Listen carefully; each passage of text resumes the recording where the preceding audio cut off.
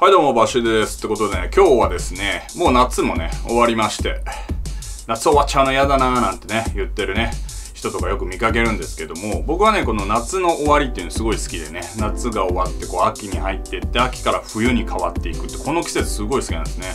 なんでかっていうとね、もうなんかこの夏のね、このギラギラしたこの暑さから解放されて、こう涼しい風がね、こう、西の方からこう吹いてきたり北の方から吹いてきたりするとねなんかねこうすごくねこう情緒を感じるというかねあ日本人でよかったなみたいなね風に思う季節なんですよね。はい。もちろんね夏は大好き。うん、沖縄に移住しようなんてね考えていた時もあったぐらいこう暑い時期いうのも好きなんですがやはりね僕関東人なのでこう春夏秋冬しっかりあってねこの季節の変わり目を感じることができるっていうことでねこの秋っていうのは好きなんですね。ただねこの時期特にここ最近はですねこう寒暖差が激しいですね。昨日30度だったのに今日いきなり最高気温23度とかね結構こう落差が激しかったりしませんか？ここ最近。そうするとやはりねこう寒暖差アレルギーなんて言ってね急にねこう咳が出てしまったりとかねあの腰痛持ちの人は腰が痛くなってしまったりとかねそういうことがあるんで十分ね体のねこうケアっていうのはね注意していかなければいけないなっていう時期になってきたかなっていうとこなんですが今日はですね椅子の話していこうと思います。椅子。はい。普段ねこのデスクで座っている椅子。子の話をしていこうと思いますそれでは行ってみましょうチェゲラバン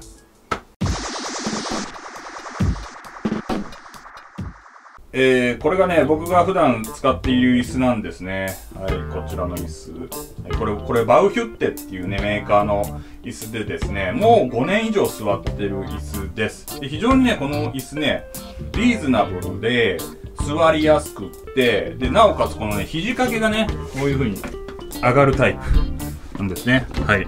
ま、結構ね、こうボロボロになってきちゃってますけどね。で、シミがついてたりってね、こうあんま見せられないような状態になってるんですけども、この椅子は、このように、肘掛けがね、上がるタイプの椅子なんですね。まあ、特にね、珍しい機能ではないと思うんですが、このね、肘掛けが上がることによって、この椅子に座って、えー、ギターを弾いたりね、このね、三振をね、弾いたりすることができるっていうね、こう、ミュージシャンに特化した椅子っていう売りで売られてる椅子だったんですね、実は。はい。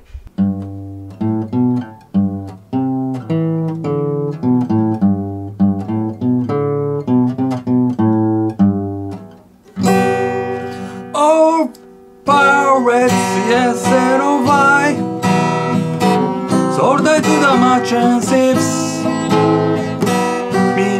After the two guy From the bottom last beat こういう感じでこの椅子に座ってギターも弾けるよというねそういう売りのね椅子だったんですね。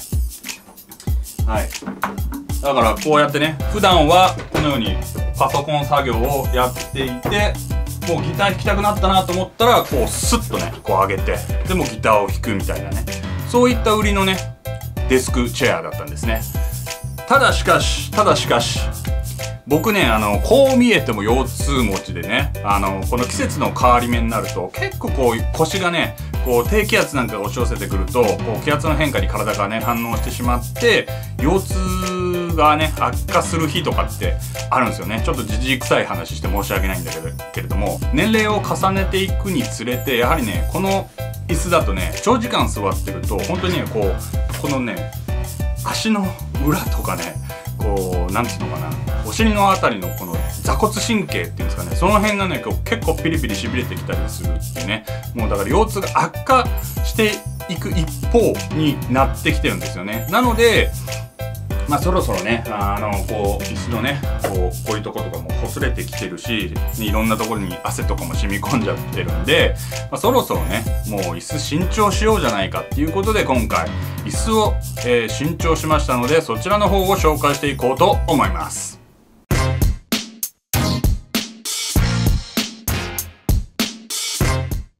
じゃじゃじゃじゃーんってことでね、今日ね、買ったのはこちらね。ノーブルチェアーズっていうね、えー、椅子を買いました。 Made in ドイツのね、椅子なんですね。はい。こちらゲーミングチェアおすすめとかでね、調べたら出てきました。はい。まあ、迷った椅子はね、いくつかあったんですね。ちょっとここ出しときますね、ここに。こんな感じの椅子と、もう迷ったんですが、いろいろとね、考えた結果、この椅子にしました。ではね、早速開封して組み立てて、座り心地なんかをね、えー、レビューしていこうかなというふうに思います。バスヒデ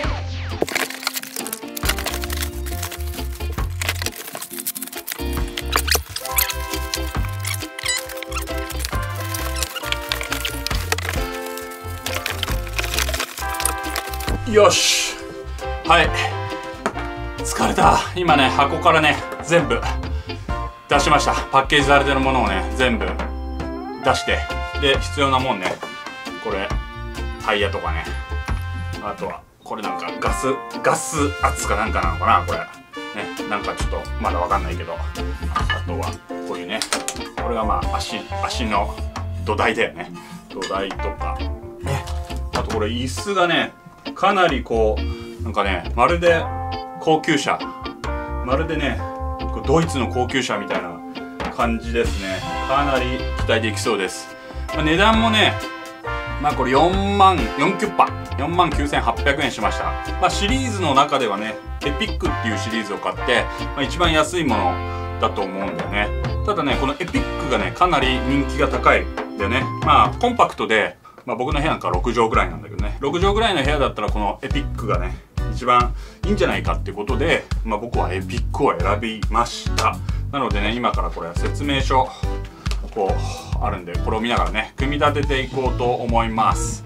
はい、うん、そんなにね多分難しいものではねないと思うよ。さあじゃあどっからやるのかな。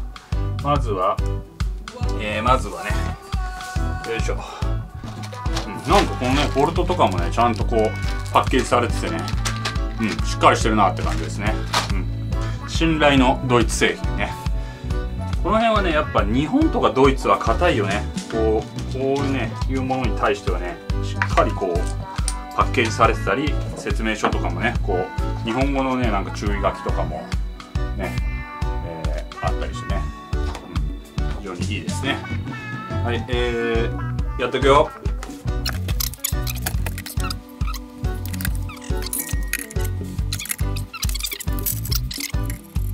はい。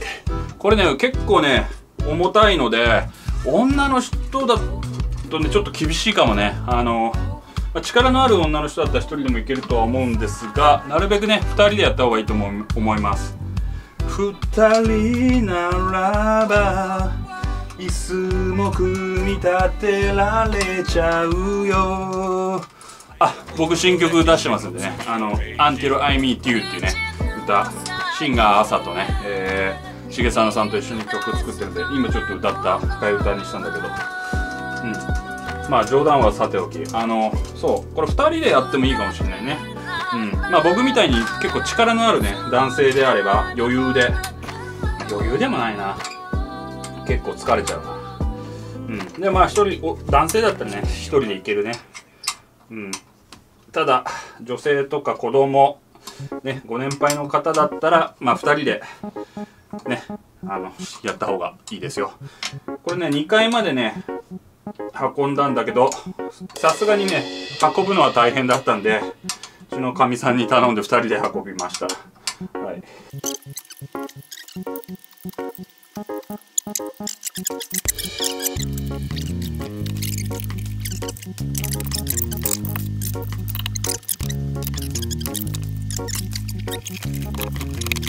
い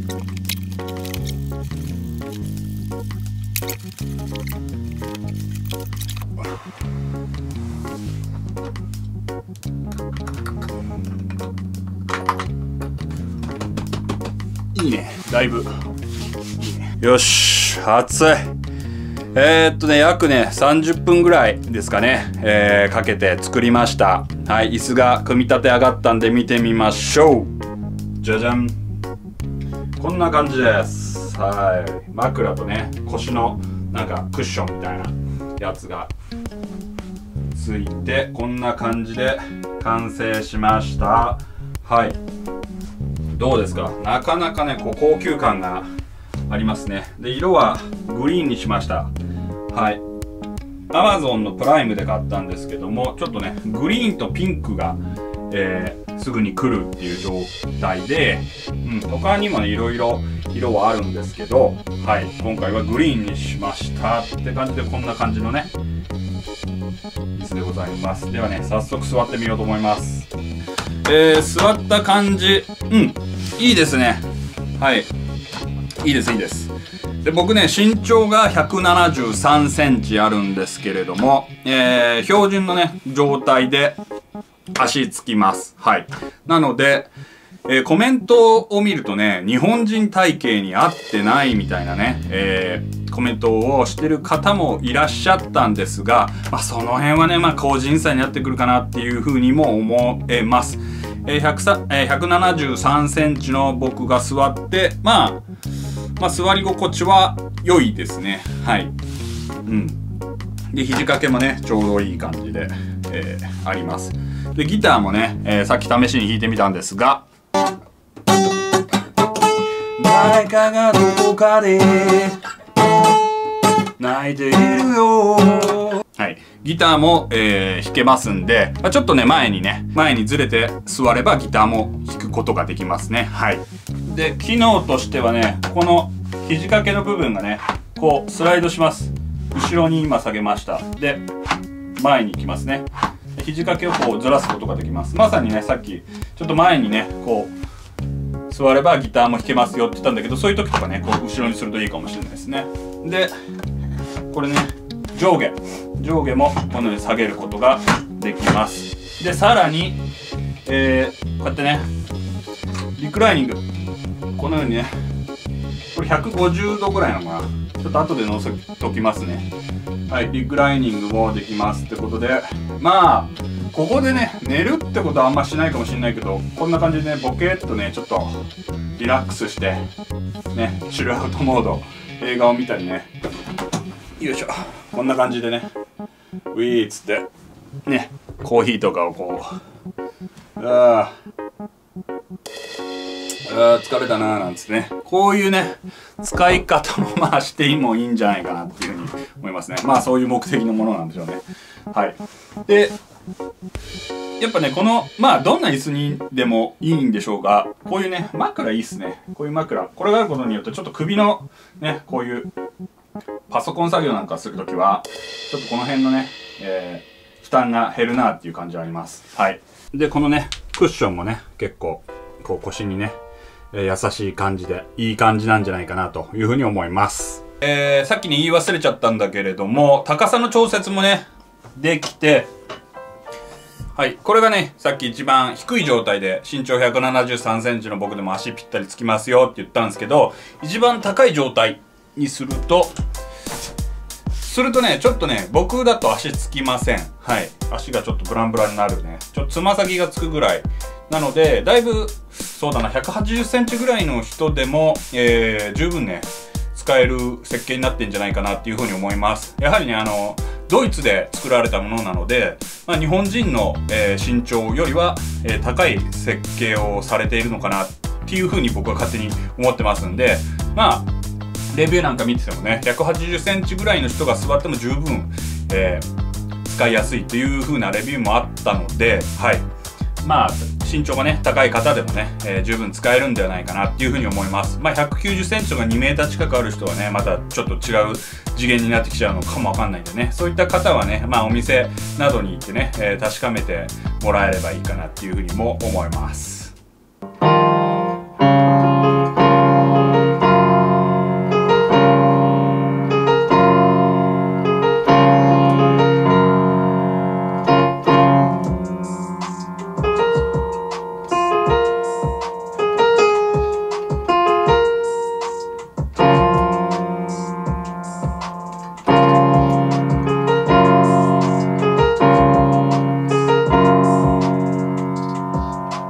手具合にですね、このノーブルチェアを使って DTM 作業をしてもですね、今ね、ちょっと30分ぐらいね、今、ちょっと鍵盤の練習してたんですけども、やはりね、こう、椅子が硬い分ね、こうなんか、やはりこう、腰にね、来ないっすね。うん。まあ買ったばっかりでね興奮してるっていうのもあるのかもしれないですけどうん。結構座り心地はいいです。はい。値段はね、結構まあ5万円近くするんでね、まあ、パッとね、出せる値段ではないとは思うんですが、まあ5年から10年ぐらいね、持ってくれるんじゃないかなっていうのを考えると、まあそこまでね、えー、高くはないかなっていうふうにも僕はね、思います。なので、えー、今日はね、ノーブルチェアを、えー、紹介させていただきましたが、もしよかったらね、えー、参考になればいいなと思ってレビューしました。というわけでね、今日は椅子を紹介させていただきました。またお会いしましょうバイバイ